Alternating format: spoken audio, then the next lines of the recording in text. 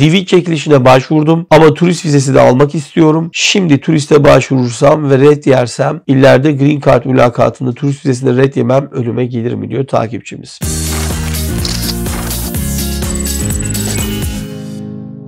Hayır siz sonuçta turist vizesi başvurusu yapabilirsiniz. Ona uygun görünmeyebilirsiniz. Bu sizin daha sonra Green Card çekişini kazandığınızdaki Green Card'ı etkileyecek bir durum değildir deyip takipçimizin sorusunu cevaplamış olalım.